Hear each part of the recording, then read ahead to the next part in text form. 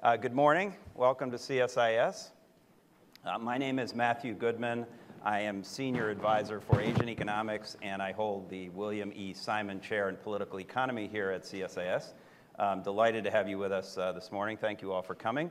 Uh, welcome also to our online viewers. We have a loyal following around the world, and hello to friends who I know are watching in Beijing, uh, Connecticut, Toronto, uh, and other exotic places. And uh, we um, are delighted to have you uh, watching us. You can all uh, follow us on Twitter uh, at CSIS Live.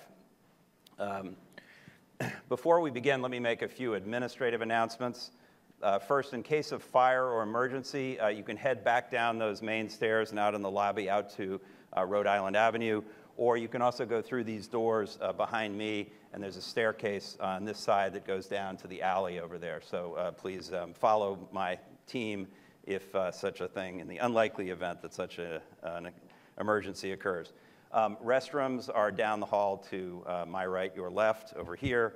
Uh, coffee is available on the Sam Nunn Terrace behind you uh, throughout the morning, um, and we'll take a short break around 11:15 if you want to fill up then. Uh, lunch will be served after the program if you'd like to stick around for that. We have a nice lunch uh, ready for you. Uh, and finally, please set your uh, phasers and other electronic devices on stun. Uh, with that, let's get started. So today, the Simon Chair is releasing a new report uh, examining China's economic decision making. you should have received the executive summary of the report when you entered, um, and you can access the full 107 page version online via our website, csis.org. It should be posted now. Um, we're very grateful to the Smith Richardson Foundation, Alcoa Foundation, the Japan External Trade Relations Organization, JETRO, uh, and the GE Foundation for their generous support of our study. Uh, we would also like to thank the many eminent scholars, officials, uh, and many other experts, both in China and in the United States, who offered us invaluable insights throughout our two year study. Some of these people are acknowledged in the report, uh, but countless others deserve credit for helping us get to this point, so thank you. Finally, let me also acknowledge my team uh, who have worked so hard on this project over the last two years. Uh, my deputy, Amy Studdert, I don't know where she is, but uh, somewhere here, there she is. Um, uh, our program manager, Grace Hardy, who I think is working as we speak, so isn't in here, but I think you all met Grace. Uh, and especially our research associate, oh, there she is, uh, David Parker, who did first rate work researching a challenging topic and drafting most of the final report. So thank you, David. Uh, this report is the final product of a study we began shortly after China's current leadership moved into office in March 2013.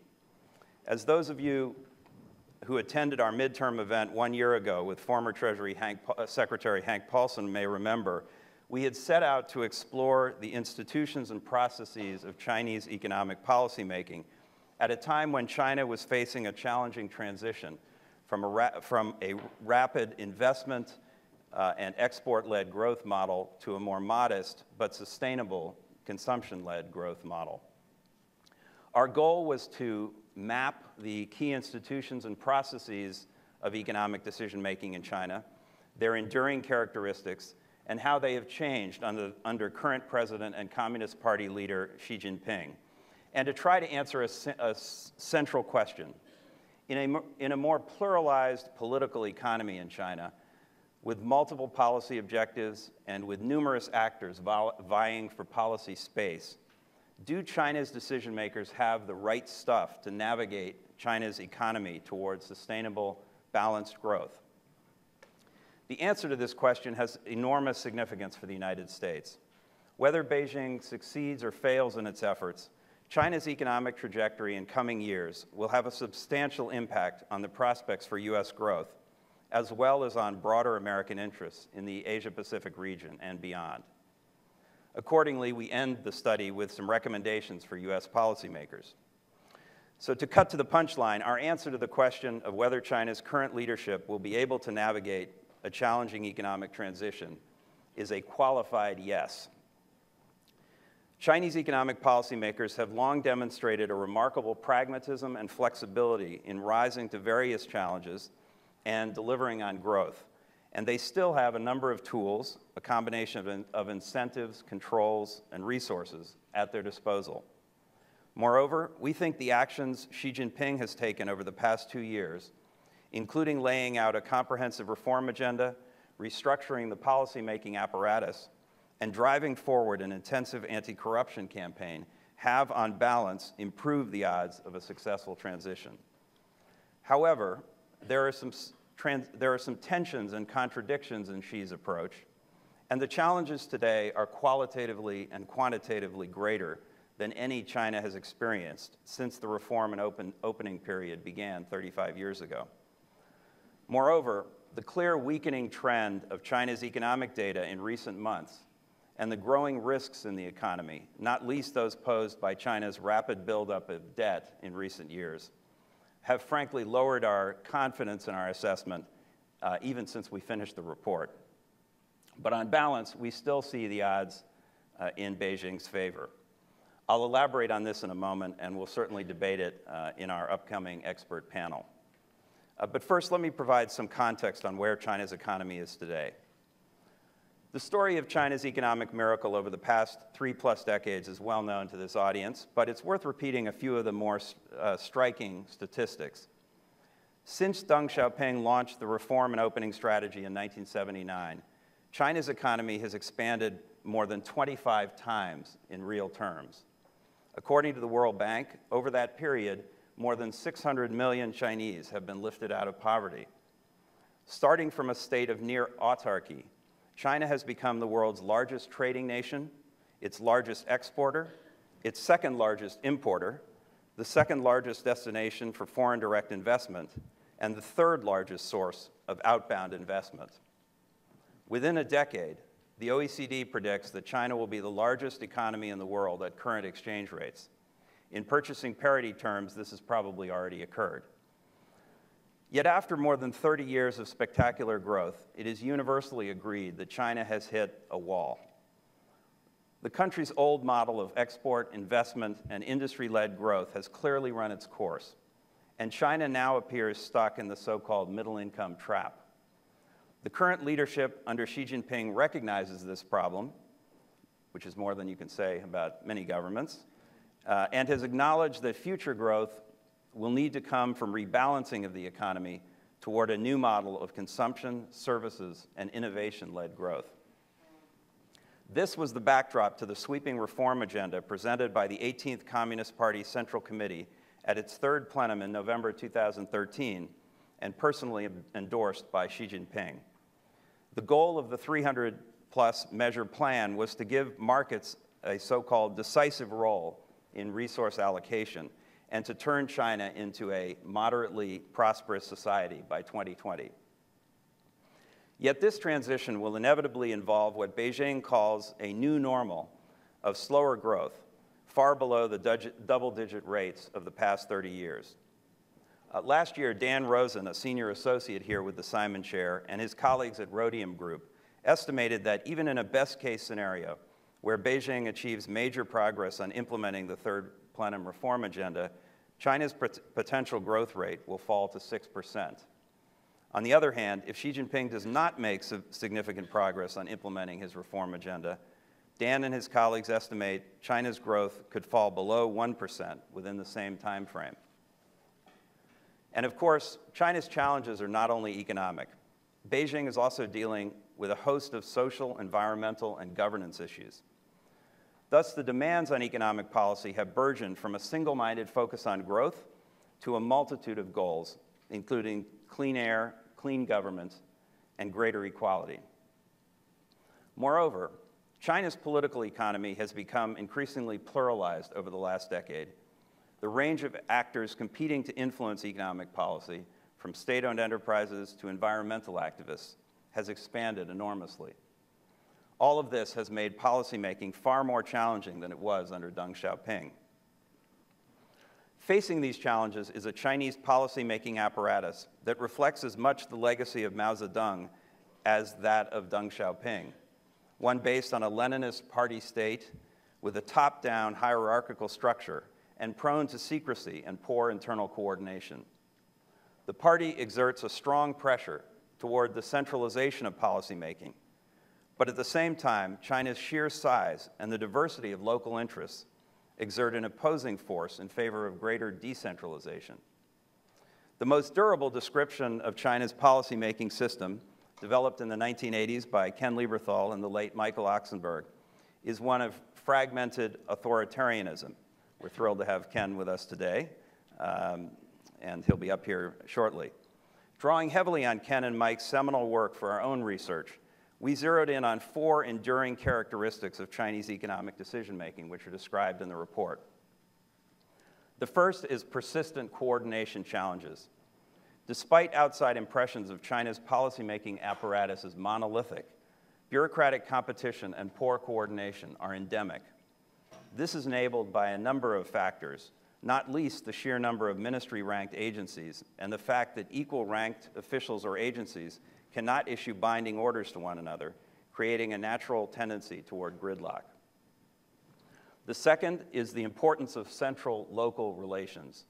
China is a massive country. Despite the unitary nature of the Chinese state, Beijing cannot simply disregard provincial interests, and indeed has had to establish an elaborate system of incentives centered around advancement in the Communist Party to ensure policy implementation at the local level. The third characteristic is use of experimentation. A key feature of China's policymaking pioneered under Deng Xiaoping is localized policy exper experiments, some top down, some bottom up. Experimentation creates competition to determine which reforms will go nationwide and limits the political and economic risks should an initiative go awry. This suits Beijing's longstanding preference for incremental rather than decisive reforms, known in China as crossing the river by feeling the stones. Fourth is the reliance on external pressure as a tool of reform.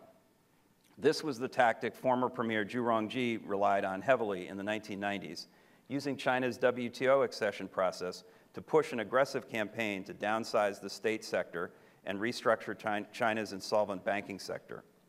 Echoes of this can be seen today in Beijing's growing interest in a bilateral investment treaty with the United States and even in the Trans Pacific Partnership. While these four characteristics have in many ways persisted under the Xi Jinping administration, in his first two years in office, Xi has also put his own distinctive stamp on policymaking. The most obvious and important shift has been Xi's centralization of, the economic, of economic decision making and the particular way he has gone about this.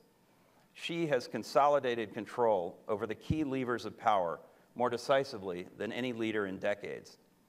Compared with his immediate predecessors, Xi has adopted a more rigid, I'm sorry, a more rapid, opaque, and personalized style of economic decision making and relied more on Communist Party rather than state mechanisms. He has used party bodies to sidestep China's official state apparatus and, in effect, to create a counter bureaucracy for coordinating his reform agenda. The so called Comprehensively Deepening Reform Leading Small Group, which is quite a mouthful, uh, but an important body, established following the third plenum, has now become the command center for China's economic reform program. We elaborate on Xi's policy-making changes in our report. For today's purposes, I want to focus on what Xi's style and approach say about the prospects for reform and a successful economic transition. On the plus side, Xi's personal decision-making style and heavy use of party institutions have allowed him to sidestep bureaucratic gridlock, empower a trusted and talented team of technocrats, and assert greater direct control over the economic policymaking process. The breadth of the third plenum reforms illustrates that Xi and his advisors understand the interrelatedness between seemingly disparate policy issues. In this, and in his use of external pressure to help organize and push his agenda, Xi is also clearly borrowing from the playbook used in earlier successful reform drives, such as the one orchestrated by former Premier Zhu Rongji in the 1990s. Finally, there is a serious case to be made that despite the rather limited visible progress on economic reform to date, Xi is deliberately taking a sequenced approach that begins with an overhaul of China's governance system and a move to rule of law, rule by law. His vigorous anti corruption campaign can be seen in this light as an effort to lay the foundations for reform.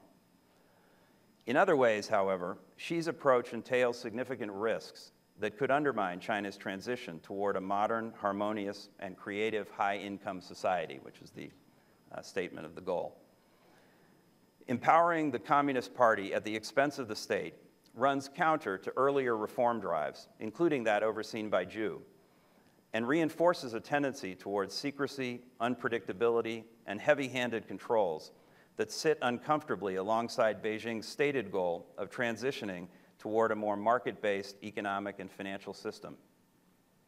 Previous leadership's emphasis on consensus-based decision-making was an impediment to rapid change, but also an effective tool for gaining buy-in from the bureaucracy and troubleshooting proposed policy measures.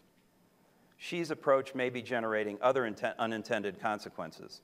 Importantly, in the context of our study, the anti-corruption campaign appears to have produced near paralysis in local decision-making, which is key to implementation of reform, and this is likely to have dampened growth in the short term. Moreover, Xi's efforts to purge so-called Western values and measures aimed at indigenizing China's information technology infrastructure are not only making China's relations with trading partners more contentious, but could also have negative consequences for future innovation, productivity growth, and China's ability to generate unique intellectual property. In sum, there remains an unresolved tension, really the central tension of our study, between Xi's grasp for greater political control on the one hand, and the imperative, um, and the imperative of letting go economically on the other. But as we say in the report, this does not mean it's time to count China out. Successful generations of Chinese leaders have proven themselves pragmatic, flexible, and capable politicians, adapting well to changing circumstances over the course of China's decades-long economic miracle. Xi has demonstrated particular confidence in his approach, and on balance, we believe the new mechanisms of economic decision-making he has adopted will strengthen uh, his ability to implement the reforms needed to produce stable, sustainable growth. 2015 is likely to be an important year to test this conclusion. Roughly halfway into Xi's presumed first term, this year may be the last chance to make a major push for reform before the political wrangling ahead of the next party Congress in 2017. Uh, again, we're going to talk about all of this uh, more uh, in the expert panel, so, uh, so feel free to uh, build up your questions for that. Um, now let me talk about recommendations for the U.S. government. As I mentioned earlier, China's success or failure at managing its economic transition will have enormous consequences for the United States, economically and in terms of American policy interests. Thus, in the final chapter of our report, we argue that policymakers in Washington should spend more time understanding economic decision-making and reform in China and shaping appropriate policies in response. We offer a dozen mostly procedural and organizational ideas for how to better engage with China on economic policy issues and how to organize the U.S. government to do so. You can see the full list in the summary report you have in front of you, but let me just highlight a few here. Our first pair of recommendations is that Washington support China's economic reforms where they align with U.S. interests and not be afraid to challenge Beijing when its policies are out of step with our interests. From an, from an American perspective, there is much to like about the third plenum reforms, from giving the market a decisive role in the Chinese economy to prioritizing financial reform. We should encourage these changes, citing the win-win benefits to China and the United States. At the same time, as our study shows, external pressure is an important tool of Chinese decision-making, and the U.S. should look for carrots and sticks to shape Chinese behavior in a way that advances U.S. interests, from pursuing initiatives like TPP to filing WTO dispute settlement cases where appropriate. In doing all this, we need to be smarter about the way we communicate our interests to China and the world. And I think you know what I'm going to say next. Um, so this, uh, and I'm offline here, but uh, this incident with the Asian Infrastructure Investment Bank um, has obviously been a uh, a significant failure of U.S. public diplomacy. Um, I actually think it's also a failure of economic statecraft because we did not think through uh, what the implications of this new institution were and uh, come up with a smart strategy. There were some legitimate questions from a U.S. perspective about this bank. There still are about governance and um, uh, lending standards and so forth. Uh, but uh, the right way to have done that was to have gotten a group together and decided on a, a, a comprehensive strategy for uh, asking those questions uh, to the Chinese directly and through our allies and, and partners, uh, rather than through a distinguished pink newspaper. Um, so, so I, I think that this is a case study in why the U.S. needs to do economic statecraft better and bring the economic and foreign policy worlds together. And this is a major theme of what the Simon, Simon Chair works on, not just in China, but on other issues. Um, uh, incidentally, uh, one of the, our other recommendations, number four in the list, is uh, that the U.S. and China should establish that the White House in Zhongnanhai, effectively China's White House, should uh, establish a, an informal back channel to discuss issues like this. This has been noted by observers on both sides um, widely as something that's missing in the relationship right now. And uh, we uh, believe strongly that such a, such a channel is, is very important. It's existed in the past, and it, it should be a matter of course in U.S. China relations today. Um, okay, back on the script. Uh, among our recommendations for organizing the U.S. government we propose that the White House convene an interagency process to develop a comprehensive written strategy on China, ideally codified in a national security presidential directive or the like. Uh, the process alone would be useful in underscoring the priority that the White House places on China policy and ensuring that all agencies are aligned on strategy and messaging.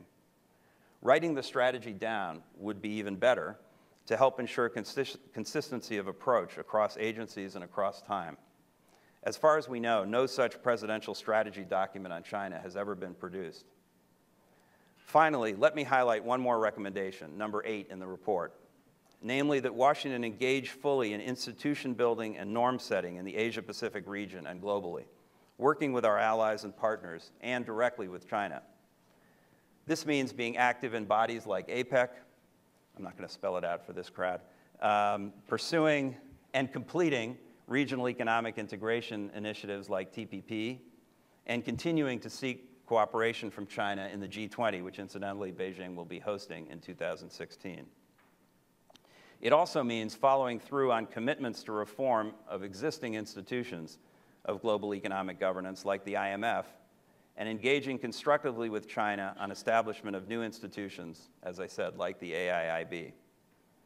The goal of all these efforts is to incentivize China to work constructively within the existing rules-based order by demonstrating that the order basically works for China and has worked for China, certainly for those 600 million uh, Chinese. Let me end with a point uh, we make at the start of the recommendations chapter which is that Washington needs a new mindset in dealing with the China of 2015 and beyond. This is not the China of a decade ago, nor is it just another country with which China, the United States has a few opportunities to be seized and, and tensions to be managed. After 30 plus years of rapid growth, China has resumed its historical place as the largest economy in Asia, and Beijing has made clear that it intends to play a greater role in the regional and global order. The U.S. needs to respond to this changing reality in a way that acknowledges China's return to prominence, but also advances and protects U.S. interests. Thus, we argue that senior U.S. policymakers need to devote far more time, resources, and policy bandwidth to China than they have to date, and to do so in a smarter way. The starting point is to understand what's going on inside China, which is what we hope our report has made a small contribution to doing. So with that, I will stop talking and invite our distinguished uh, panel of experts up on stage to help shed more uh, light on all these issues. Thank you. Come on up, guys.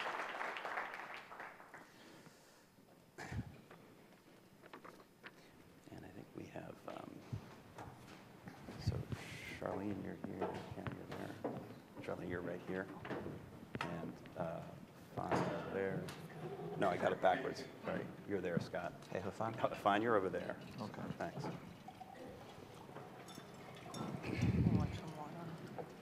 thanks. Oh, thanks a lot. All right, thanks. Okay. Actually, I'm going to do the same. Sorry. A lot of words. Uh, okay. All righty. Okay. So, um, well, I am uh, really honored, and now you get the real money here, uh, not just me, but you get the real pros um, up on stage. So uh, I'm delighted to be joined by this uh, fantastic panel of experts here. Um, I think um, uh, some of them, at least, are, are, very well known to a Washington audience. Some maybe not so much. So, uh, but they're all they're all real professionals and real experts in in in their respective fields and uh, bring a lot of light to shine on, on these uh, issues that we've been looking at in our report. So to my immediate right is Ken Lieberthal, who I know you all know, Senior Fellow for Foreign Policy Studies at the Brookings Institution, and as I mentioned before, really the, the man who wrote the book from our point of view, literally, um, on this topic back in the 1980s and has written on this subject many times since. To his right is He Fan, who is uh, Dr. He Fan, who is Senior Research Fellow from the Institute of, International, of World Economics and Politics at the Chinese Academy of Social Sciences, and Senior Economics Fellow at the Institute uh, for New Economic Thinking in New York. Uh, to my immediate left is Charlene Chu, who is partner in charge of China banks uh, at Autonomous Research in New York. Uh, there's more bio biographical information in your packets, so I'm not going to go through all of it here.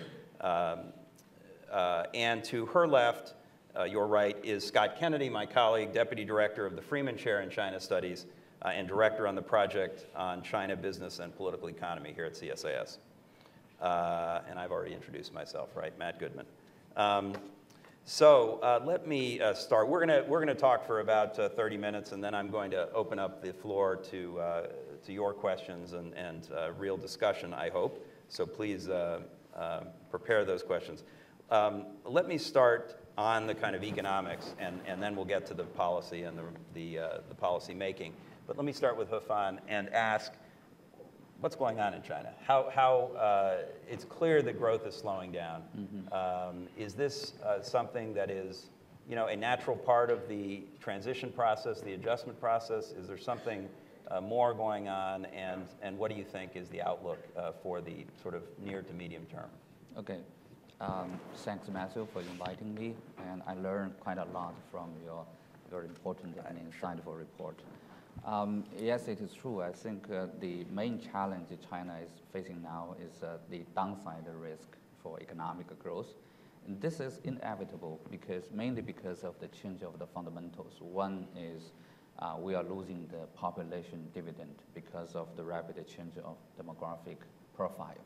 And second, because we are moving more close to the frontier of technology. So that makes that more difficult for, for uh, China, Chinese economy to catch up. Um, and also the policymaker in China, I think they are uh, having a very difficult time because uh, it's kind of a trilemma.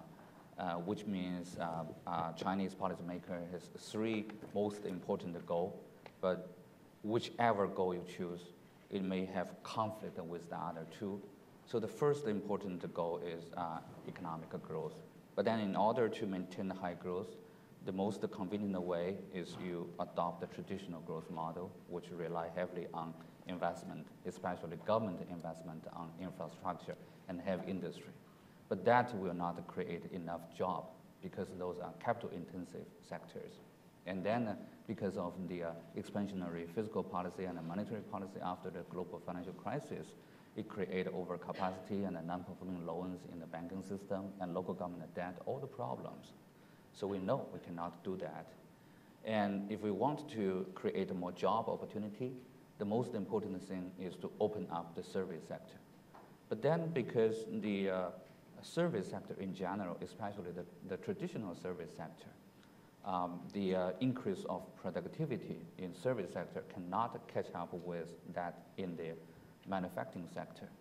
So a natural result is with this structural reform, with a higher share of service sector in Chinese economy, and the result will be the potential growth rate in China will fall continually.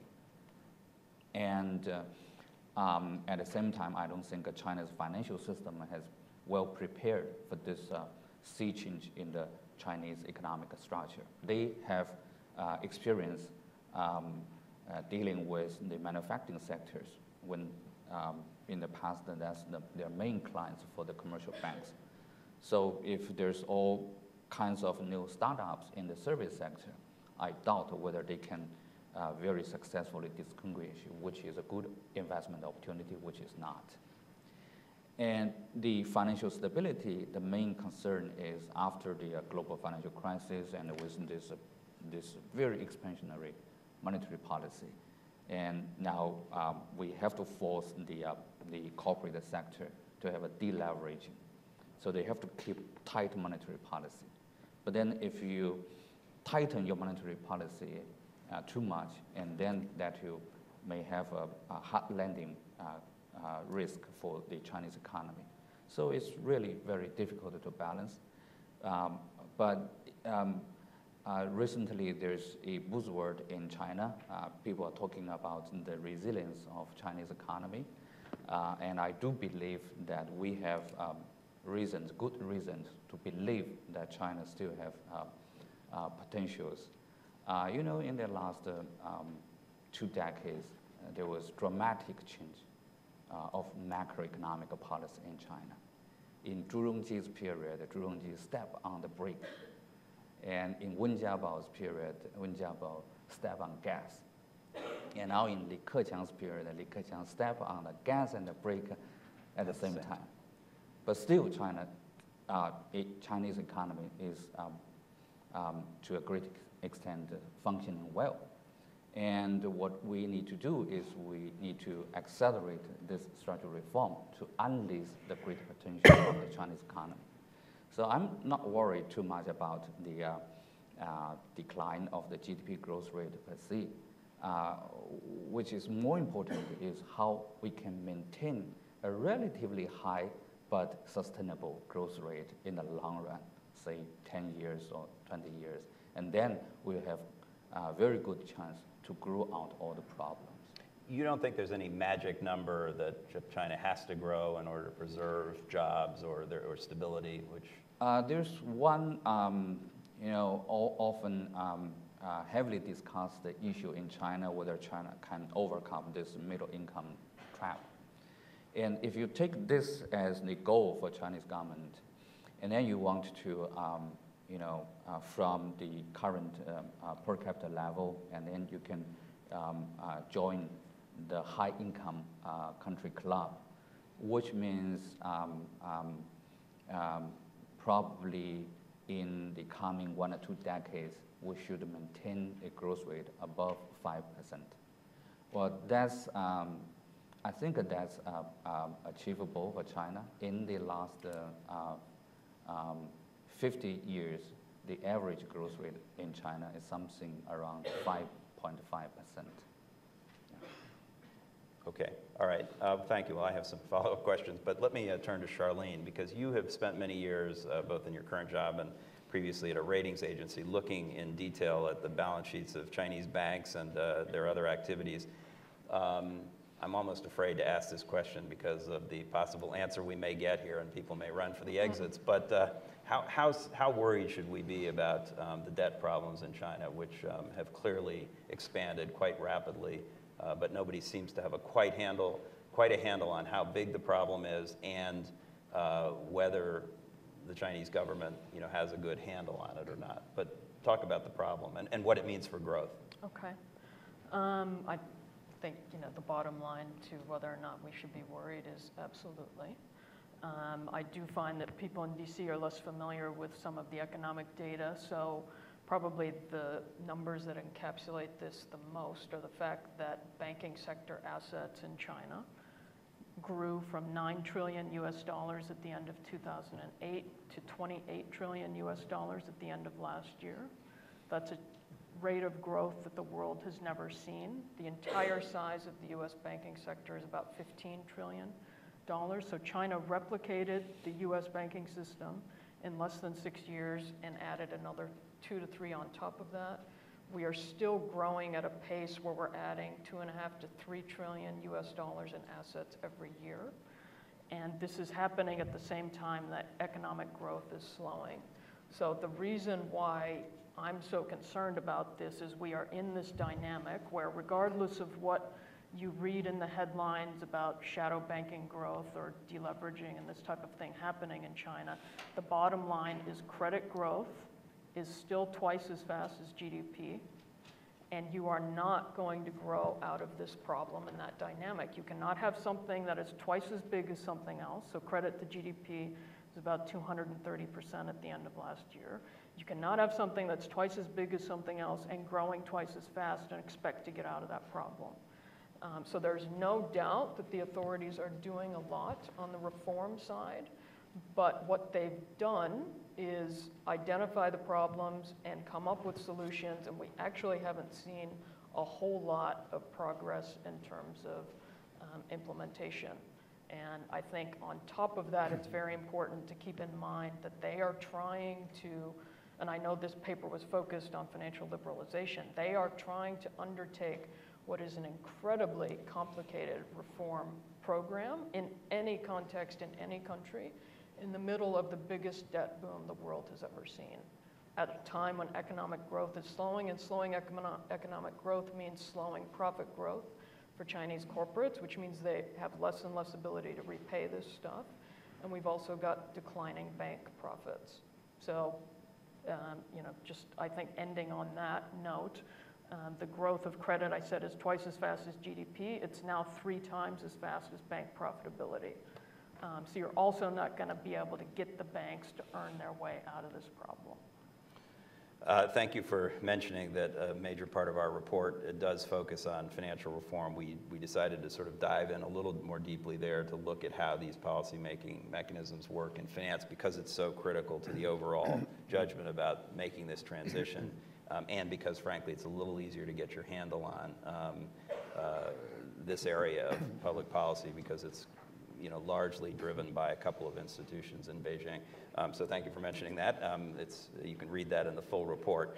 Um, on, um, and, and I, I do um, think that this uh, question is um, really difficult in terms of uh, reform because it is so important to reform, and yet the sequencing of, of changing uh, these policies in, in finance is, is critically important, whether you, you know, raise interest, whether you deregulate interest rates, open the capital account, uh, let the, uh, the exchange rate uh, become more market determined. All of these things, if you do them in the wrong order, uh, could create real uh, substantial risks.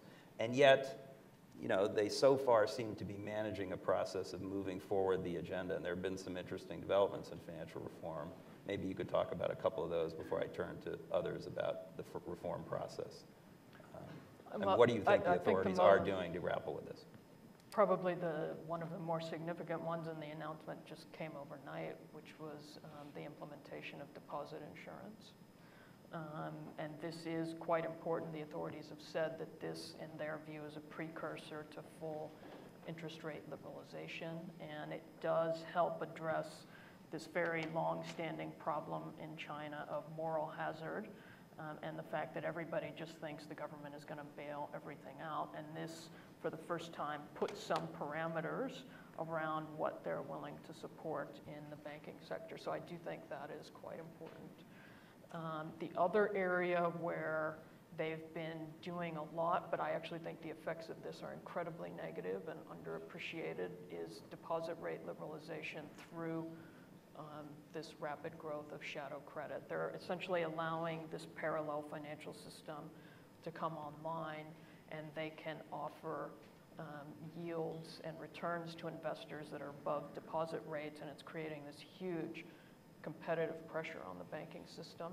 And the last thing you need when you're in the middle of a big credit boom is a loss of funding. The last thing you want is a large migration of deposits out of the formal system into the informal system. Okay, well, I want to come back to that too, but let, let me um, turn to sort of the, the broader um, decision-making issues that we addressed in our report.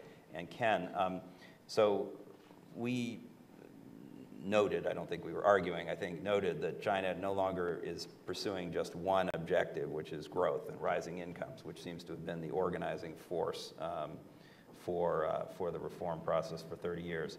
And, and now there are multiple objectives that you know, they're trying to achieve. Yet the system of incentivizing local officials to, uh, who have to do the implementation of reform was really built around this single metric that you could measure. Um, and so talk to us about how they're dealing with this change with multiple objectives, how they're changing the incentives to get the local level to respond in the way they want them to respond. Well, it's, it's a very, very difficult issue. Let, let's keep, in, excuse me, let's keep in mind that China has 40,000, little, almost 43,000 local political jurisdictions, from the provincial level, 31 units, to the municipal level, over 700, uh, to the county level, nearly 2,500, to the township level, 40,000. Uh, and the system has worked all along uh, under the reforms on the basis of, of recognizing the importance of, of uh, allowing some uh, room for adaptation, flexibility, and initiative within each of those localities, within each of those jurisdictions, uh, in order to uh, move the economy forward, move it along broadly the directions that the top leadership articulates, uh, but with a lot of flexibility and a lot of power in the hands of the top political leadership within each locality. And as Matt mentioned, uh, they, they've given them an array of goals, but at the end of the day, the thing that has produced the, uh, the highest performance evaluations has been growing your GDP every year. And they're evaluated every year, and that has accounted for more of the valuation than any other uh, single item or even group of items. Uh, now they're shifting. And they're shifting in, a, in an array of ways that are both critical for macroeconomic uh, sustainability, uh, but very difficult for most local leaders. Uh, difficult for leaders in part because they're moving from issues that were relatively measurable, GDP growth, to ones that are much less amenable to uh, accurate and easy measurement especially on an annual basis. Uh, and so locality, local officials are being told now to pursue qualitative changes and aren't quite sure what's going to be rewarded and how it will be measured. Uh, a lot of the things in the reform agenda don't line up neatly with each other. You know, increase urbanization, uh, reduce unemployment, uh, but don't pursue high GDP growth as a key goal.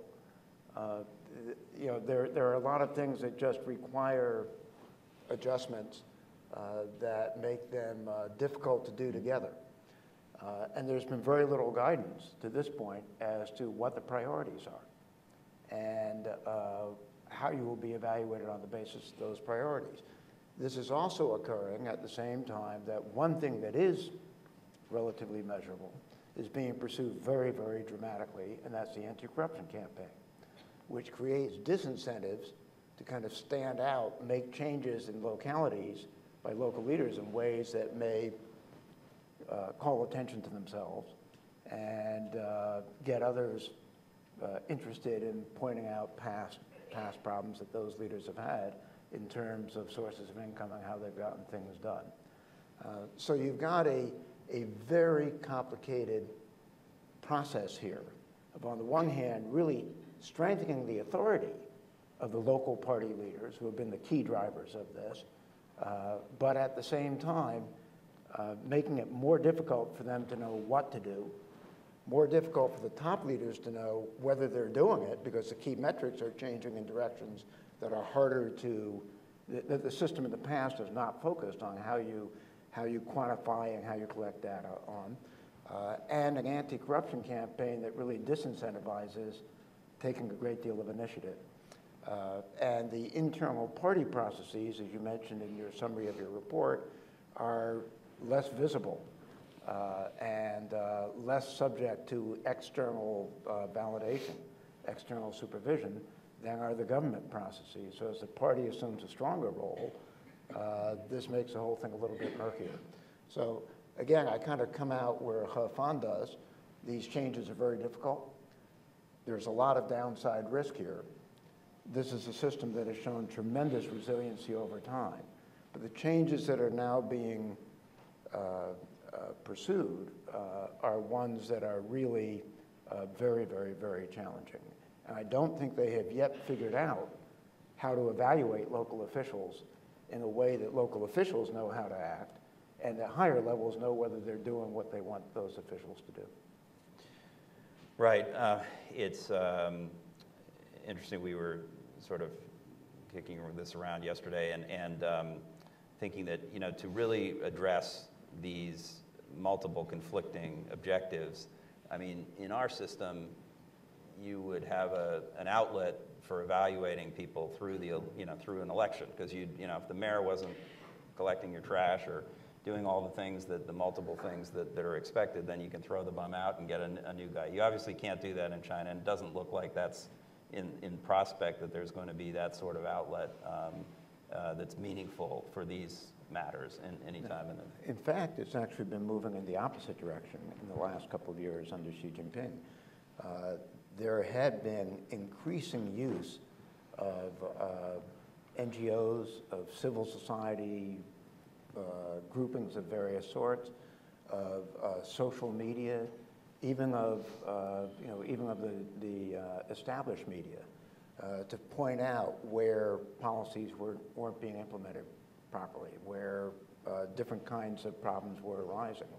Uh, now we're seeing a lot of risk attached to criticizing what is happening in localities, even where the criticism is directly in line with the goals that the top leadership is, uh, wants to pursue. Essentially, what we see is a leadership that now really does not want the population to get out ahead uh, and to begin to drive the timing or focus of the agenda. They really want to do it in terms of what uh, Xi Jinping has called top-level design, uh, so that we maintain not only the shape of the overall program, but the pacing of it and prioritization of it, and don't let other sources of information come in and push us at a speed or with, with a shift in relative priorities that we don't want to grapple with. That makes it even more difficult uh, to get checks on what's happening because remember, this is just a vast system. And most information goes up and most orders go down level by level through five levels with adjustments made at each level. Uh, and so to uh, reduce the external checks on this uh, has a price. Okay, lots of food for discussion there as well. Uh, but let me turn to Scott because you mentioned, Ken, uh, some of these other um, stakeholders and participants in the policymaking process. And let me ask about one that you've spent a lot of time working on, Scott, which is interest groups and um, the corporate sector and how they have uh, come to uh, get more involved in policymaking. What is their role and how are they helping or hindering uh, the reform process? Sure. Um, thanks, Matt. Uh, the short answer is, is that interest groups uh, can supplement an analysis on the uh, role of the elite leadership and the bureaucracy, central and local, uh, and partly explain uh, the extent of recent changes uh, to China's financial policies, which is the subject of your report. but the role of interest groups and what you assign to them depends on your belief and your judgment about how significant those reforms are. Let me just elaborate a little bit. in general, about interest groups, um, you know, from the Communist Party's perspective, um, they represent everybody, and there aren't differences. There shouldn't be differences. Um, and they keep a, a, very big tent in their view. Uh, that's why industry associations and chambers of commerce in China uh, are often state controlled. Um, there are some more independent associations in sectors where there are lots of private companies and foreign companies, but overall, associations tend to be retirement homes for uh, cadres at the end of their career. Um, and some of these associations can only become powerful by weaning away regulatory authority uh, from government institutions. Uh, China also, relatedly, has very weak laws related to conflict of interest. Um, and the party now recognizes that there are actual differences and conflicts of interest uh, between different stakeholders in the country. Uh, but the way they describe it is in, uh, in highly negative terms only, um, as entrenched interests. That's the, the key word that you hear talked about China the last few years. That's what we would call special interests. Uh, state-owned enterprises in uh, protected sectors, central state agencies, local governments, uh, essentially opponents of reform, uh, folks who don't represent the supposed general interest. So interest groups aren't seen as positive, they're seen as negative factions uh, working against uh, the party. Um, and so even though Li Keqiang has called for, in his original plans, liberalizing industry associations, they've made zero progress on that, as Ken has pointed out, uh, in every sphere of dealing with uh, uh, the governance over society. Um, so as a result of this, uh, interest group conflict in China that does exist is hidden, it's opaque, um, it's, it's hard to track. Um, and it often doesn't occur via groups, it often just occurs individually, single company to single regulator. So, in the financial sector, uh, there's obviously plenty of, of interest groups that one could point out. The, probably the most important are the large state owned banks. Um, and you, but you could also look at the insurance companies and others who, who have benefited tremendously uh, from uh, the, the growth in credit. Um, there are a variety of associations in the financial sector, uh, from the China Banking Association to the National Association of Financial Market Institutional Investors and others. All of those associations are government controlled, and you should use the word association with quote marks around them for these organizations. Um, you have the regulators uh, that these associations come out of, uh, like the People's Bank of China, the China Banking Regulatory Commission, um, and uh, the party as well, the, the leading group on economics and finance, and also the leading group on uh, deepening economic reform that you mentioned in your initial remarks.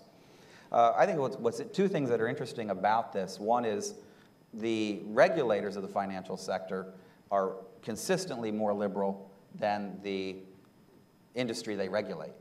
Um, uh, you meet some of the most liberal thinkers, people with world-class educations from around the world, uh, who clearly have identified the problems that China face in the uh, financial sector, in the state, and in the party. You're talking about like in the PBOC in and the, the, P- regulatory yeah, commissions? Yes, the, China, the P- People's Bank of China, also in these leading groups, the experts that work on those groups, they are very clear-headed about uh, what's going on and have come up with a lot of this proposed reform suggestions. But at the same time, you also have this revolving door uh, between uh, the regulators and the uh, financial institutions, actually, that you don't have in most of the rest of the economy. Um, there is, a, uh, at the lower level, a large revolving door of, of folks leaving the regula regulators, going to work in, in banks and securities firms. At the higher level, uh, you, that occurs as well, and actually they go back and forth. Zhou Xiaochuan, the central bank governor, obviously he was originally the head of the China Construction Bank. Uh, and, and this is quite different than most sectors of the economy, where there is some amount of revolving door, uh, but not to the extent. Most, in most, state, most sectors, particularly where the state-owned uh, companies dominate, uh, the leadership of those firms rise up through the companies over the course of their career, with some movement perhaps into government or the other direction, but not to the extent in, in the financial sector. So, what have these interest groups done if they're powerful in, in finance? Well, if we just focus on banks, uh, banks have always been a, a, strong advocate for a loose monetary policy, expanding the money supply. They've been strong advocates opposing interest rate liberalization because they benefit from the essentially guaranteed positive credit spread between loan and deposit rates.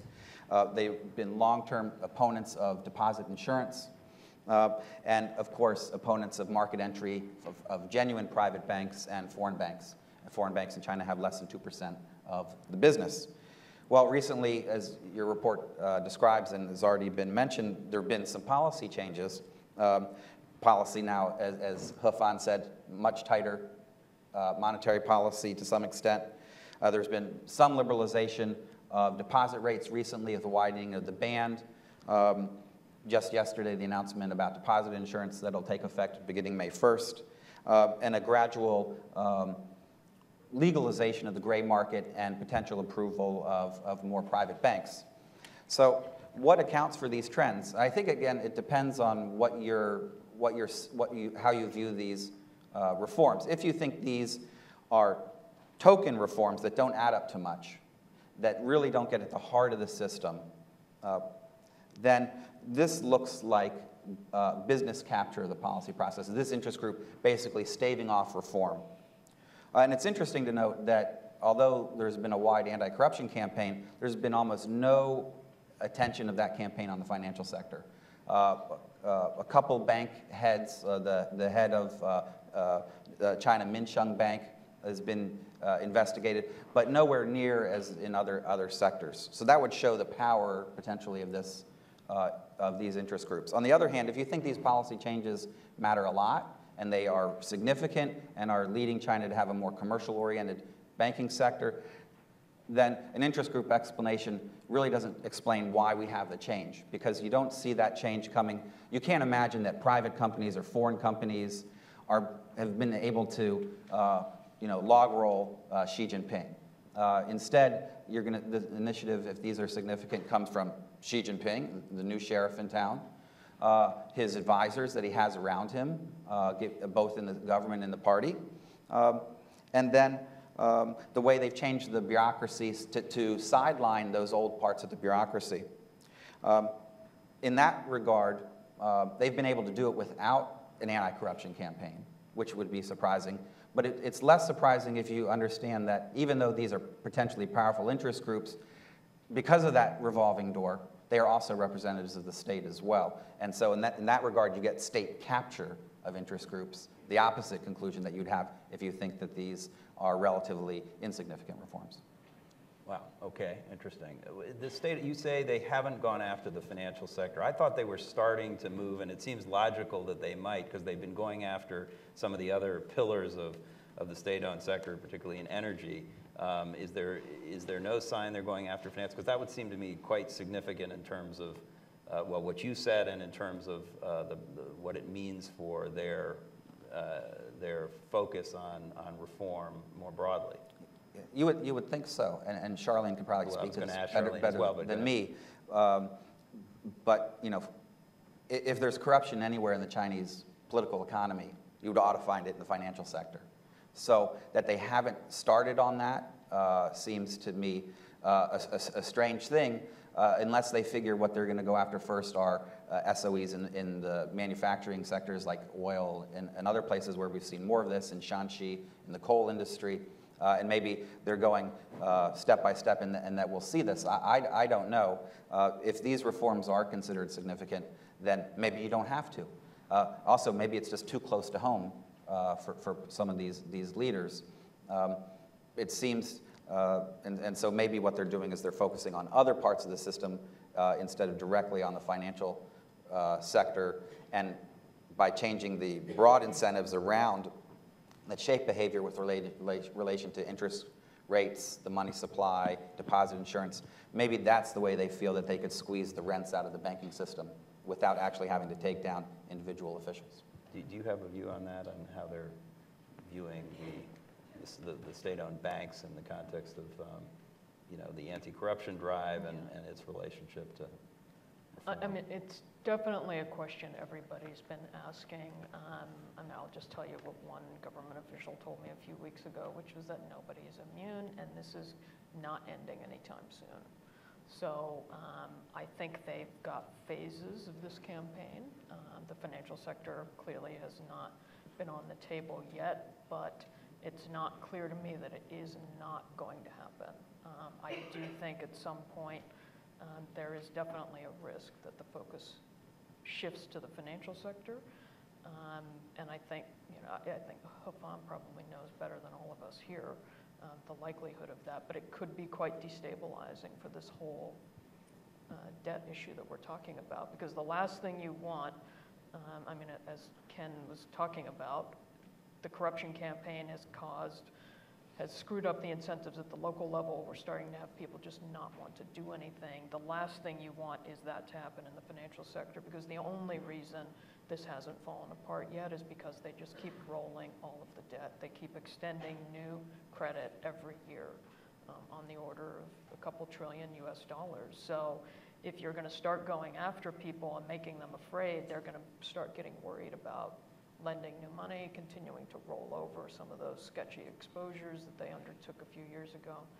Um, I don't know if that's part of the thinking now in terms of why they, they have been uh, hesitant. But um, I do agree with Scott that there's no way you have corruption at the level we do in the financial sector or in the country without financial sector participation. You've been very patient uh, waiting there, and a lot has been said here. You, you can react to any of this, but uh, in particular, the issue of, um, of whether, well, the financial sector and how, how serious you think that the concerns are in that sec- sector, and whether this is something that um, is, it does pose a risk. How much of a risk does it pose to growth? Uh, First, response to uh, uh, Scott, I don't think uh, commercial banks, um, even if it's state-owned commercial banks, can get any special protection in this anti-corruption campaign. You know, the head of the uh, Central Party uh, Discipline Inspection Department, Wang Qishan, you know all the tricks. He used to work in commercial banks, and he is um, um, um, so he's very familiar with that business. So uh, we'll wait and see. Um, and for commercial, uh, for uh, this financial system, um, it is true that uh, the non-performing loans is accumulating, and then the uh, local government debt. That's a very serious problem that we need to solve in the uh, as quickly as possible. And also, you can see the profitability of major uh, state-owned commercial banks is dropped dramatically in recent years. But um, financial crisis, in essence, is not insolvency, it's liquidity. So in that concern, uh, I think uh, for the time being, uh, the situation is still under control. Um, but the problem is um, China needs to, you know, solve the problem of too big to fail because we have all those uh, very large state-owned commercial banks.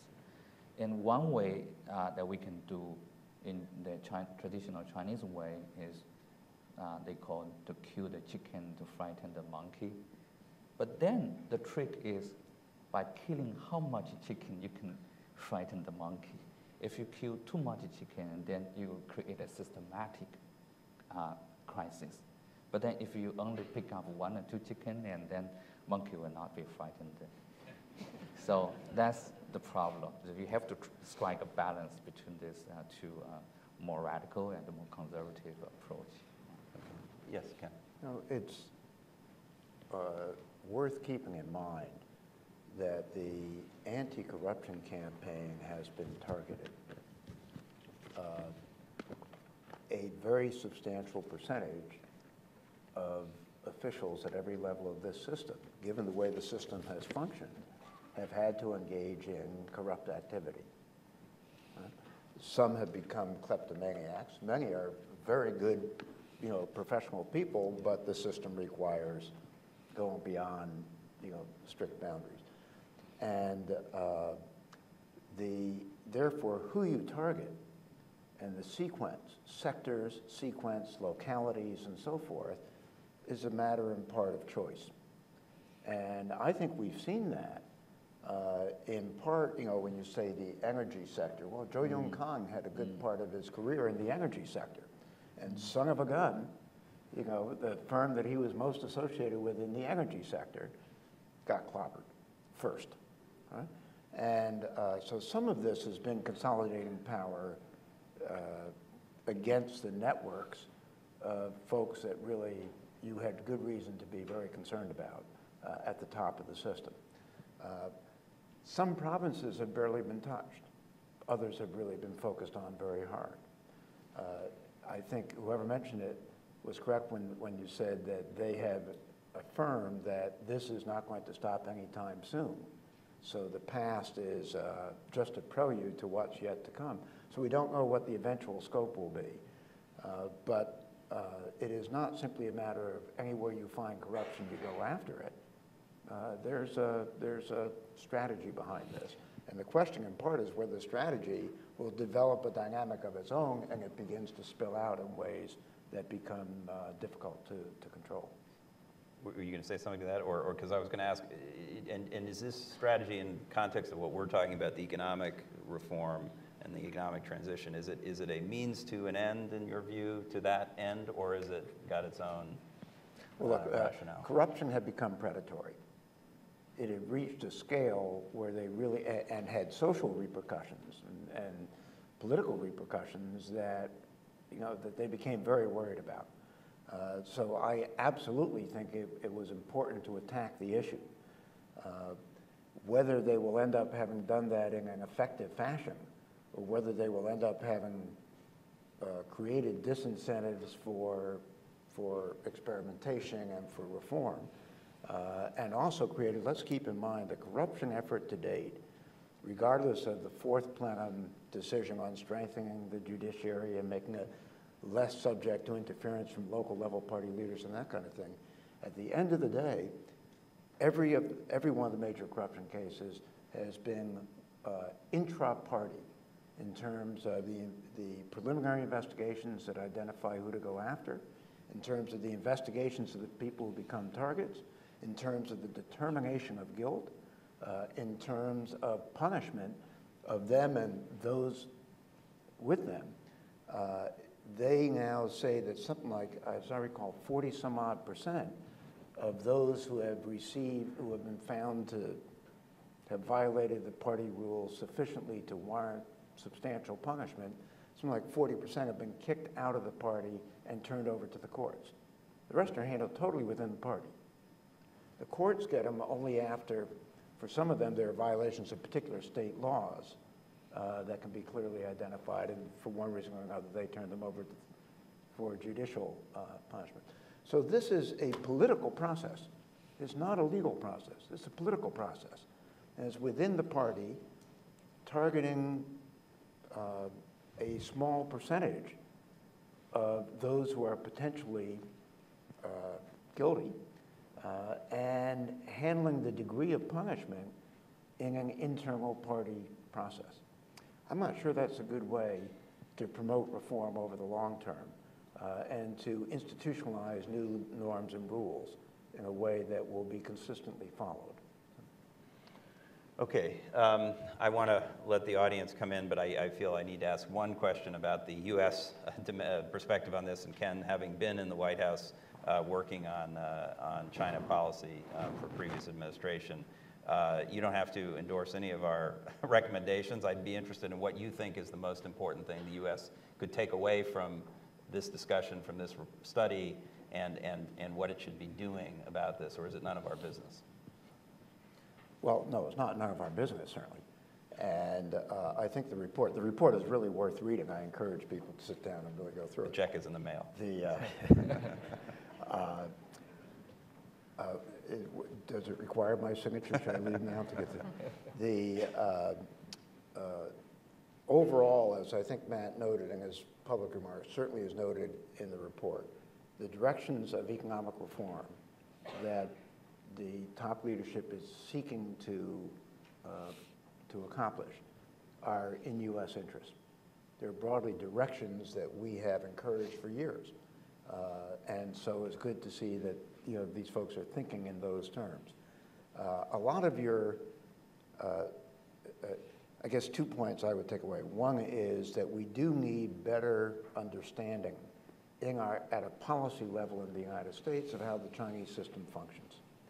That there is still uh, too little understanding of the politics within the Chinese system, uh, the policy process, the different levels of the system, how that affects implementation.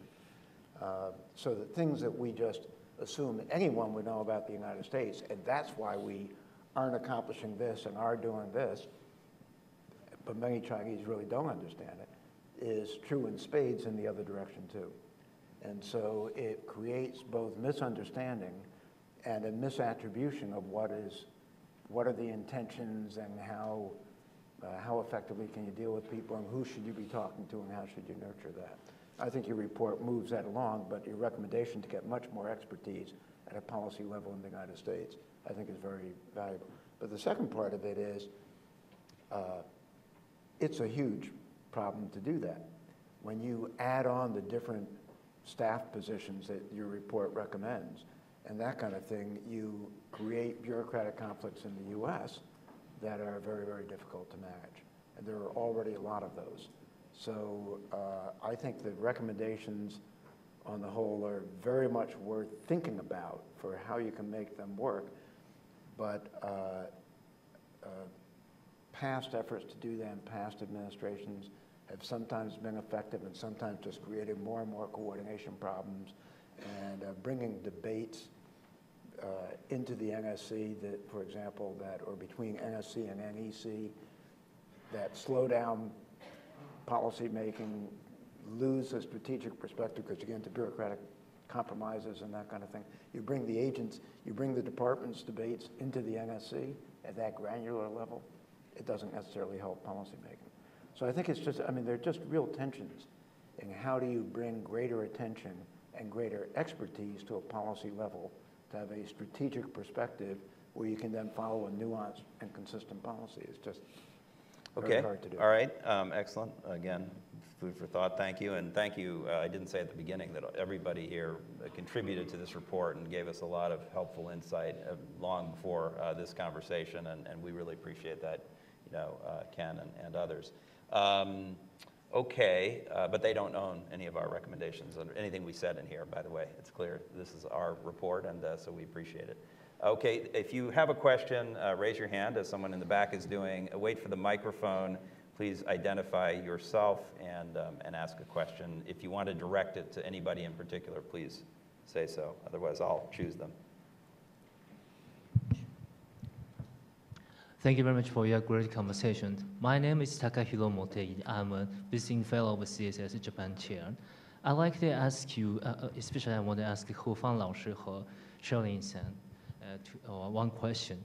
So Xi Jinping uh, just almost a year ago mentioned comprehensive security. So at the first meeting of Chinese NSC, and he uh, he mentioned 11 social, uh, sorry, comprehensive security include economic and financial security. So I want to ask you is, what kind of uh, role is Chinese NSC playing for making uh, economic uh, policy, economic make when Chinese government decide their policy decision, what kind of role is playing, uh, Chinese NSC is playing what kind of role? I, I'm sorry, my English is not good.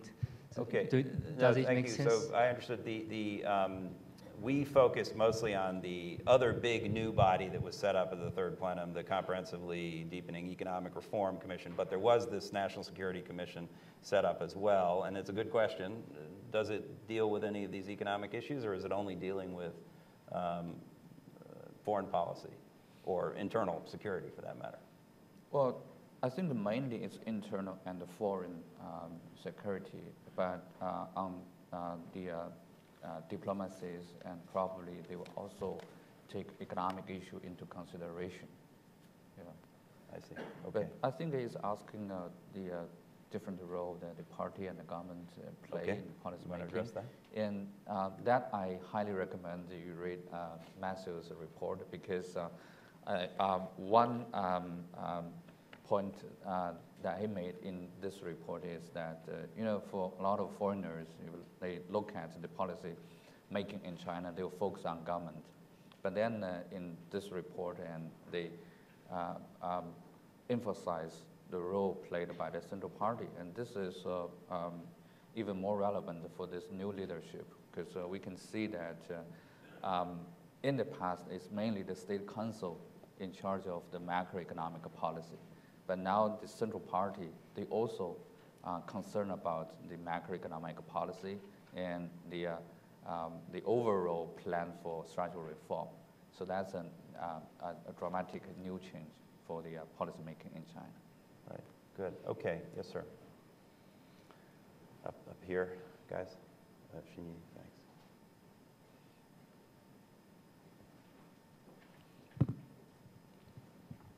Thank you.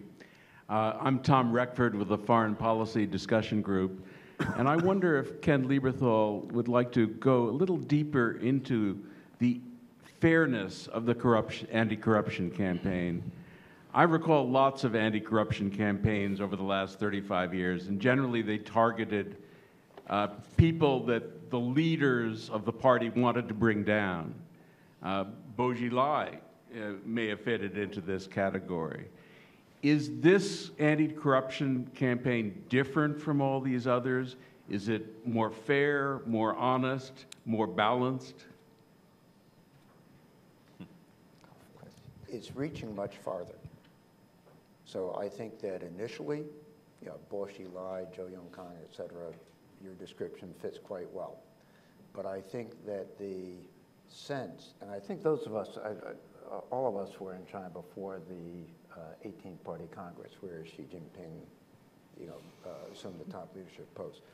You know, I have heard complaints about corruption whenever I've been to China for many years.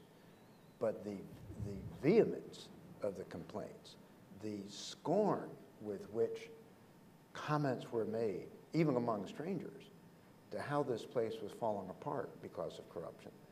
The comment at a conference I was at, people I didn't know, uh, and they didn't know me. Chinese sitting at, at a table, and I was just at the table with them, talking about this current situation like the Kuomintang uh, before the Second World War, the four big families, right? And I said, do you literally mean like the four big families in the Kuomintang? Absolutely, maybe worse, right? Uh, so, and I think Xi Jinping understood this. So I think that there, and Wang Qishan certainly understood, as uh, He Fan indicated, Wang Qishan knows all the tricks, uh, given his uh, career. And uh, I think there really is a determination to change behaviors here. Whether it is being pursued in a way that is fair, given the, uh, you know, the, the, distribution of offending uh, folks, I, I, don't think there's any way to judge. And I think there, there is certainly a risk that a lot of scores will be settled at lower levels, a lot of unjust things will occur. Uh, but uh, you know, at a popular level, I think this is very popular at this point. You know, a lot of people think those guys are finally getting theirs. You know?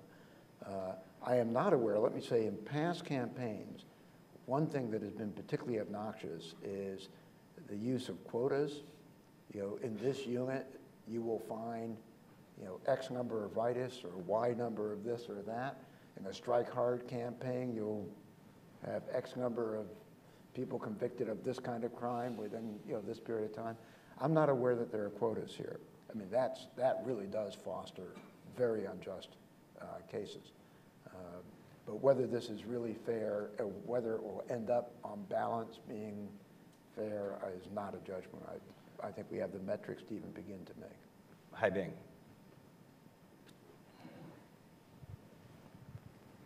Thank you. My name is Zhang Haibing. I'm visiting scholar in the CSIS Freeman Chair. Firstly, congratulations, wonderful job for your you know, research. Uh, my first question to the panelist is uh, about, you know, uh, the title of this report is uh, Navigating Choppy Water. Choppy is means uncertainties. So my question is, from your perspective, what do you think about the most turbulent factor in the present Xi's decision making, typically in the economic sector? My second question goes to the Matthew Goodman. As I know you, your research group did a lot of uh, field study, interviews more than 100 person, scholars, officials. So from your uh, perspective, what's your comments on the Shanghai pilot free trade zone? Do you think it's uh, still meaningful for China's whole economic reform if compared 30 years ago? Thank you.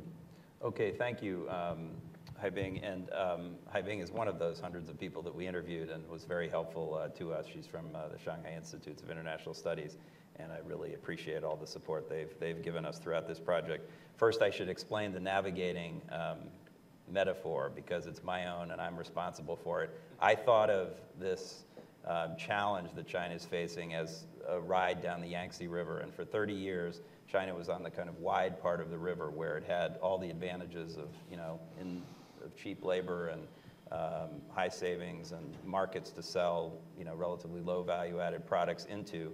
uh, and one objective, growth. And all of that is gone, and they're now in the narrow part of the river. And the question we're asking is whether the guys on the back of the boat can manage this turbulent transition to uh, another wider part of the river with su- sustained growth. So we call this the Navigators Project.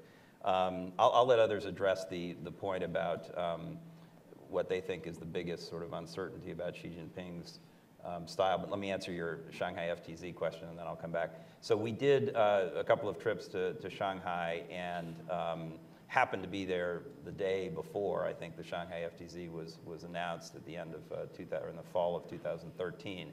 And um, it uh, was explained to us at the time by various people as being driven by three basic motivations, and um, not necessarily mutually exclusive, but, but depending on who you asked, they'd have a slightly different emphasis on it. One was Shanghai needed some new source of uh, dynamism and growth um, as a financial center and needed some, uh, something to sort of shake um, Shanghai's um, innovativeness and ability to compete, frankly, with other um, other uh, financial centers in the region. Um, so that was one. It was a sort of a Shanghai bottom-up driven uh, initiative. Um, another was that the that the center wanted to use this. Uh, Beijing wanted to use this as a you know in a sort of Deng Xiaoping-like way of using the way he used Shenzhen uh, to as, as an experiment, as a place to, to, to launch reform uh, to, as a test bed for some national reforms. Um, and so it was really top down, driven from Beijing. And the other was that, uh, that this was sort of an externally driven thing because of TPP and other developments going on in the, in the region and the world. Uh, China needed to have a competitive sort of response to that, and hence, you know, the negative list was developed in Shanghai as, as part of the, uh, and then introduced into the bilateral U.S. Uh, bilateral investment treaty negotiations. Um, again, uh, this is a little like, sorry, a Japanese reference, but the, the, like the movie Rashomon, where depending on who you were asking, they'd have a different emphasis on those three factors. But it seemed to be uh, based on those three things. Um, I have not been back there in, in, in, almost a year, and so I've lost the thread a little bit. My sense is there's some disappointment with what has happened to the Shanghai FTZ, that it hasn't really fulfilled any of those um, objectives, at least yet. Um, uh, partly, I think this is because I think it was, there was a lack of ownership in terms of who really owned this thing and was, was, uh, wanted to drive it.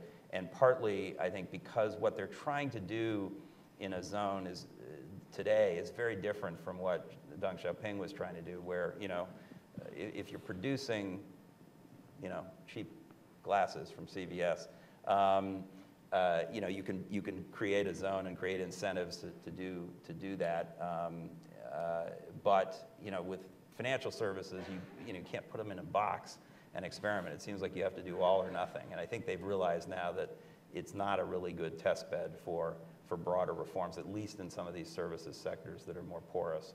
Um, I, you know, I could say a lot more about the Shanghai FTZ. We do talk about it. I think we at least have a sidebar in our report about it and it's fed into a couple of the things we write about. Um, but if, if Scott or anybody else wants to add to that and then maybe take on the other question as well. Sure.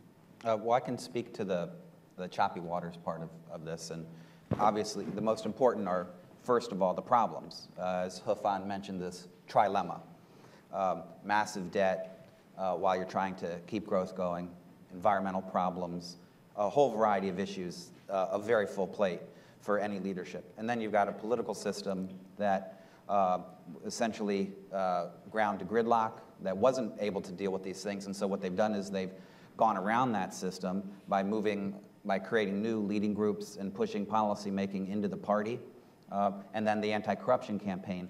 And so all of this feels like a big, broad campaign that you can't sustain forever. You can't forever just do this outside the standard bureaucracy. That needs to be reformed. And so that's, that's quite risky. Um, when I think about, uh, I've also used a boat analogy as, as well, um, and just a little twist. Uh, I think of Chinese policymaking more like a sailboat. Uh, and when in choppy waters, how does a sailboat move ahead? They tack back and forth. And so you never feel like they're directly head on solving some problem. Sometimes it looks like they're making reforms, and other times it feels like they're, you're backtracking. Uh, but you can't tell until you wait some time and then you look back and say, oh, I've actually moved some distance in addressing this. So in that regard, it's both, there's, there's other ways to think about that. um, And given the challenges that they face uh, and the complexity of the political system, I think that back and forth tacking is something we're going to see for quite some time. You want to? I would just add two things. One, in terms of what worries me, I think one of the biggest challenges China faces is environmental. Uh, and it is, uh, you know, everyone talks about air pollution, it's especially water pollution, pollution of the soil. Uh, you know, it's huge. You know, the, it is growth constraining and potentially uh, much worse than that. Uh, I'm not aware of any high-income country in the world uh, that has successfully dealt with environmental problems without permitting the development of a green political movement, of uh, environment, you know, non-governmental organizations that can organize and pursue political pressure. Uh, China has moved in the opposite direction on that. Uh, and so that worries me quite a bit. And then secondly, the stress on inno- innovation, I think very rightly so, trying to go from extensive to intensive growth, but at the same time, uh, a strong political uh, atmosphere of uh, reducing uh, what you bring into the system from the West. Western values, uh, there are more protectionist measures in technology, all kinds of things that, you know, I don't know where the balance has to be here, but the, the contradiction between kind of this political thrust and the, the recognition of the importance of, of becoming much more innovative uh, is one that is, I mean, it's going to be tested in a very serious way uh, in the next few years in China. Good. Couldn't have answered it better. Yes, sir. Over there.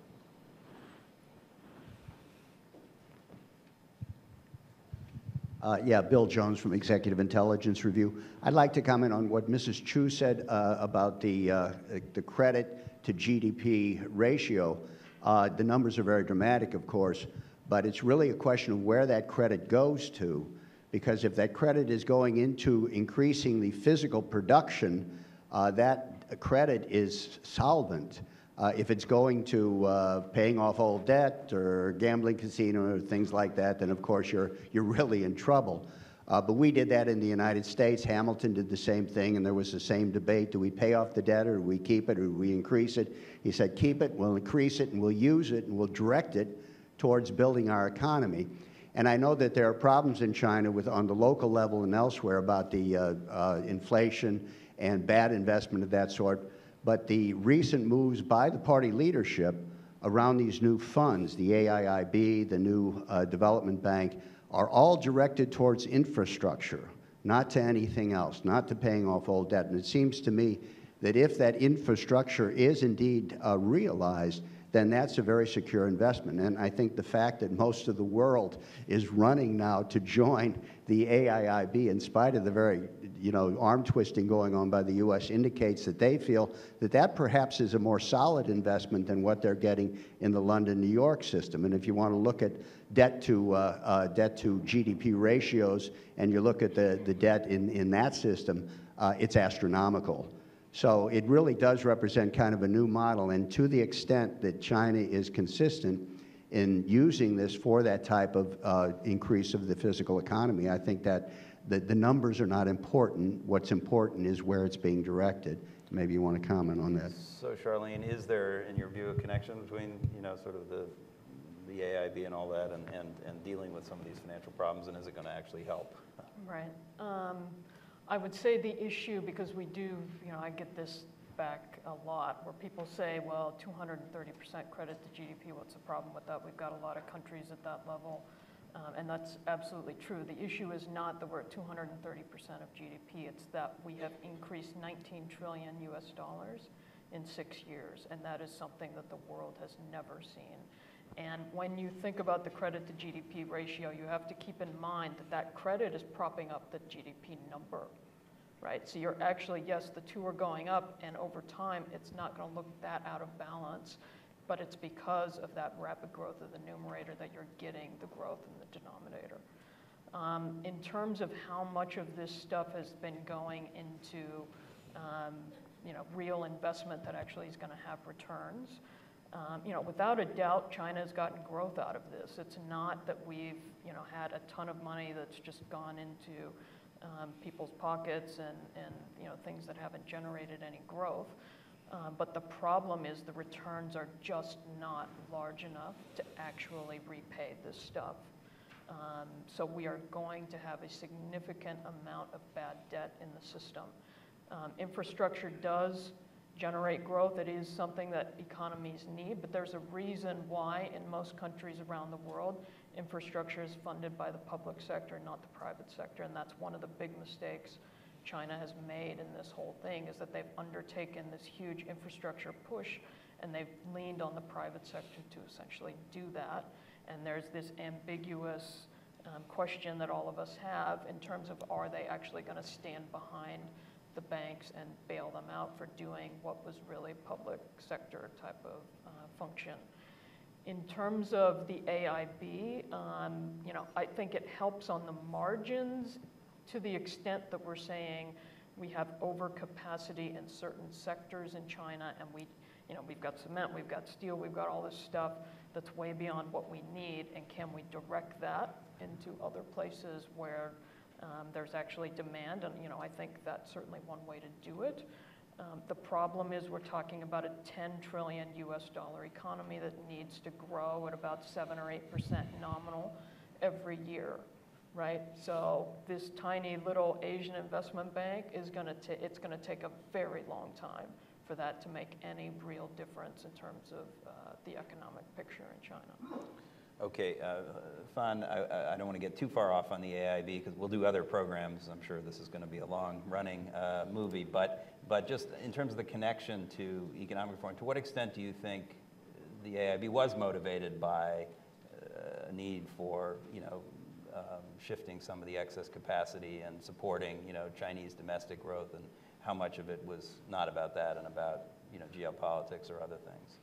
I think AIB is still at a very early stage, so uh, I agree with uh, Chu that um, it um, may not have very significant impact on China's economic growth, but the most important thing for AIB is, um, you know, for China, uh, in the past, uh, um, it always want to have uh, more saying in the international uh, economic system. So we tried the reform on IMF and the World Bank, but then even the tiny reform of the quota system in IMF cannot be uh, implemented.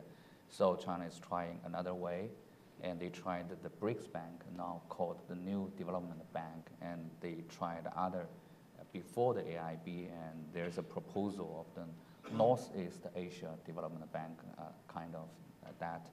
So um, I think for China, the most important thing for AIB is they feel more confident. They don't want to have the final say in the veto power in, in, in this new organization. But as long as China is one of the founding members of a new international institution, and they will feel that for any negotiation, for any discussion, they'll be on the table. They know, they know what is happening. So that may get more confident for China to play a more positive role in the international community. So I think that's the good news for AIB. Okay. Um, yes, ma'am, in the back with the pink red. Thank you. Uh, I'm Jennifer Lee with Hong Kong Phoenix TV. Uh, follow-up question about the AIB as well for Dr. Lieberthal and Dr. Uh, Scotty. So, um, so far, we have more than 45 countries decide to join the AIB, including the United States allies. Um, do you see that as a recognition of China's willingness to take on the global leadership, or is there other reasons that re- intrigue those countries to join? What's your observation on all this AIB development, including their in- interaction with the United States?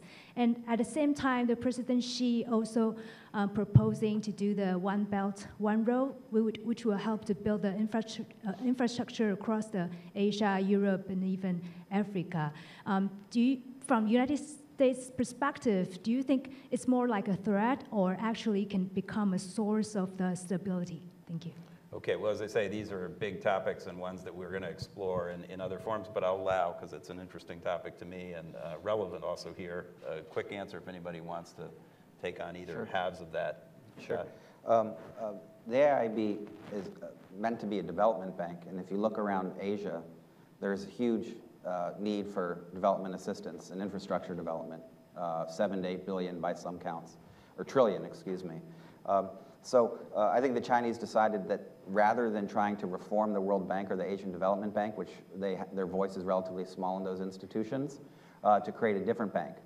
Um, and where they get both reputational benefits and practice of leading an international institution, whether, regardless of whether they have the veto or not, but, but having a, a larger role. And this is a clear com- uh, component of Xi Jinping's more active uh, international foreign policy that he originally outlined last November in the Foreign Policy Work Conference uh, in, in China.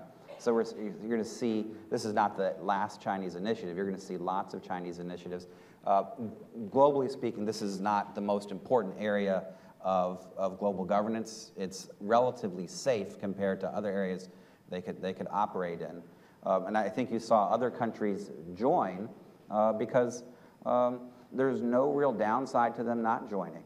Uh, there's and potential upside. It uh, improves their relationship with China, since it's a very high priority for Xi Jinping and the, and the leadership, and may provide some type of benefits to their countries, uh, since they're mostly in Asia.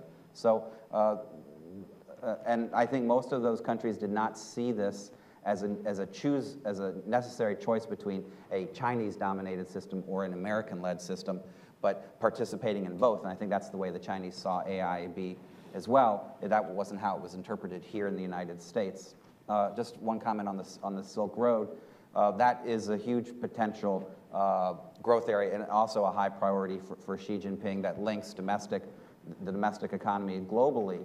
Um, and the po policies that were outlined a, a, few days ago at the Boao Forum that were released uh, at the same time, um, long on goals, short on specifics.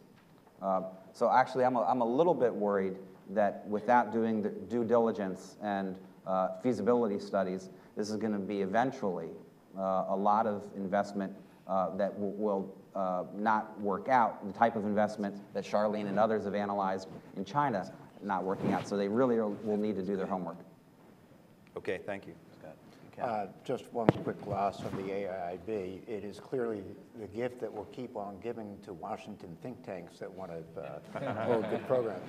Uh, I don't want to comment on the U.S. side. I, what, I, I would associate myself with what Matt said earlier about that. But uh, for China, I think that the, there's been a little bit, my guess is the Chinese have been a little bit surprised at the array of countries that have now signed up.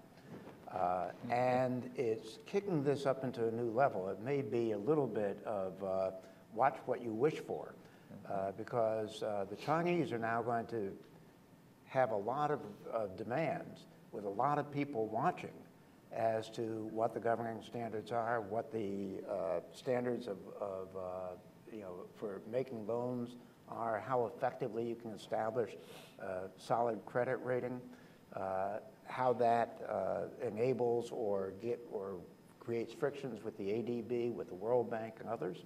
Uh, this is a new game, and they may end up learning a great deal and really moving up the ladder a great deal, which frankly would be good for everyone as far as I'm concerned. Or this may create problems in governance and eventually in reputation that they really will, uh, uh, will not see as a complete win by quite a bit. We'll have to see how it plays out. Okay, thanks. I, I will, if there are two more hands, yes, ma'am, and then, and then, uh, yes, ma'am. Okay, and the gentleman in the back, really quick, but very quick questions, please, because we're running out of time. I'm Jiang Yujuan with Xinhua News Agency, and my question is about uh, foreign direct investment in China. And some foreigner, foreign companies are closing their factory in China, and some foreign companies are complaining rising difficulty in doing business in China, such as uh, lower profit margin and uh, mm, unclear regulation. And so, how the panelists evaluate China's current mm, business in climate, And uh, do the, uh, will these challenges affect the overall FDI to China? And for companies, they returning their business in China, so why they make such choices? Thank you. Okay, thanks. Uh, so we keep note of these folks, and then um, Thank you, um, speakers. This is Paula Stern, the Stern Group, uh, and I think it was Ken who used the term innovation economy or innovation. And um, I know there's been major focus and it was a wonderful discussion on kind of today and decision making in China today. But I am wondering um, if uh, in your navigating choppy, choppy waters um, or this morning you might comment on China's pre- prep- preparatory basis for being a leader in innovation. Uh, there's always this comparison between how much DARPA gets funded versus how much the government in China is funding uh, basic research and really fundamental uh, uh, uh, processes that uh, are the basis for innovation in an innovation economy. Did you go into that at all? Um, would you, if not in the paper, comment on it today? okay, thanks. And then one more gentleman in the back. Thank you very much. My name is Jim Chen, independent reporter. I had a quick look at your summary. Um, uh, recommendation 12 point in two part. One is engage with China. The other is organizing U.S. government. Then I have a quick telephone conversation with a U.S. Uh, China watcher, and it, hey, pause a moment. I, I read the 12 point, and eight for China, and nine for China, and um, and three point for the U.S. government. And he had a pause a moment, and he said, okay. In short, he said, organizing U.S. government to support China. That's what U.S. have been doing in the last 40 years, and you supported rising China. Now at this point, that it divide your allies and conquer them. What's your response? Thank you. Okay. Um, um, Scott, do you want to take on the first question? no, not that question. We'll, we'll, we'll think about Sure. that one. Let Uh, that one settle in. Yeah, so, so. The first uh, one of it, Yeah, the, the first from, a reporter from Xinhua. So, um, foreign businesses, particularly American companies, uh, you know, originally went to China because it, as, as an export platform to elsewhere, as part of their global production chain to export elsewhere. Um, and those are the types of companies that are most sensitive to rising costs in China, uh, labor costs, who would potentially consider moving elsewhere. Uh, but most American companies who invest in China are in China for the China market. They want to get, uh, for, for a variety of reasons, they need to be in China because they need to be close to their customers, because transportation costs are high, because there are ba- barriers, protectionist barriers, or other types of things that make it make sense to be there to sell into China.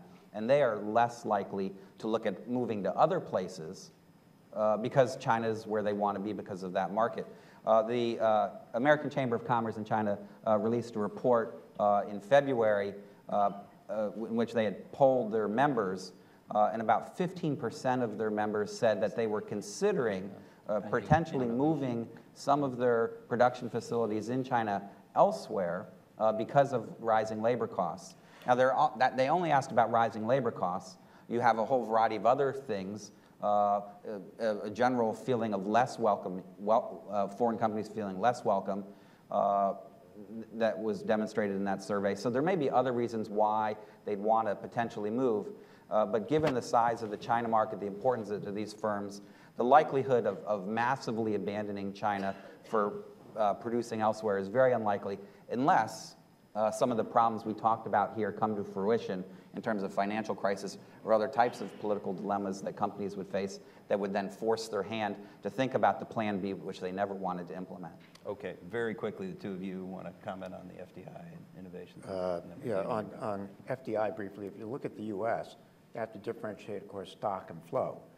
Uh, The stock of U.S. direct investment in China is decreasing. Uh, The flow uh, remains substantial. Uh, But the firms are facing, you know, slower economic growth, rising labor costs, and that kind of thing. So uh, the big attraction is to sell into China now or to participate in that market. I think the big thing about, and the atmosphere is more difficult. Uh, I think the big thing that's going to shape the future is going to be, in addition to the bilateral investment treaty, whether China really opens up high value added services uh, to foreign direct uh, participation. If so, that is a huge opening in areas of where the U.S. does best. Uh, if that remains very constrained, uh, then I think that you know foreign direct, U.S. direct investment in China is not going to not going to be a shining part of our relationship. Okay. Um, I don't think China can be the leader uh, for innovation on all the areas, but I'm quite confident in many areas China can do very successfully. Uh, one um, um, advantage of China is the market potential. So take uh, the high-speed railway, the uh, original technology was developed by Germany and Japan, but finally the market is in China. And by the same token, I'm quite confident uh, in the future, the most cut on the edge technology on dealing with air pollution will be in China, because you don't have market here. Um, and second advantage China has is um, we have a, a, huge army of, um, um, um of um, uh, enterprise engineer. It takes us uh, almost 20 years to reduce the salary level of engineer uh, below that of the nanny. So uh, we have uh, a huge army of uh, well-trained, hardworking, and um, enterprise engineer. If we can combine this human resources with the market potential, and in many areas, China can then quite successfully. Okay, um, great. Uh, just, I, am not sure I understood the thrust of the gentleman's question back there, but let me say, to the extent I understood it, I, I think what I would say is that um, the U.S. strategy since Nixon and crossing eight administrations now has been basically consistent, which is to pull China more deeply into the global rules-based order. And I think that's the, that was the right strategy, and it's been a hugely successful strategy for China and for the United States. And I would expect that that would be the basic uh, thrust of the uh, continued strategy in future administrations. And uh, the U.S. has an interest in a uh, strong, stable, uh, successful China. Um, and uh, we have lots to work on together, and we have obviously co competition we have to manage, but, uh, but that's always going to be a part of the relationship. And, and that's what our uh, recommendations were aimed at, whether they were under one category or the other. Um, so let me uh, end here because we're already a little over time, and we're going to have to cut into the, uh, to the um, uh, break. But first, let me thank the panelists for joining me up here for a great discussion. Thank you all.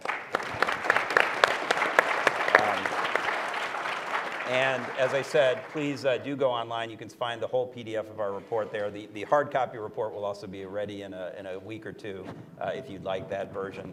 Uh, meanwhile, uh, there's coffee on the Samnon Terrace, but we really need you back here by 11:29 and a half because we have to start at 11:30. okay, thank you so much.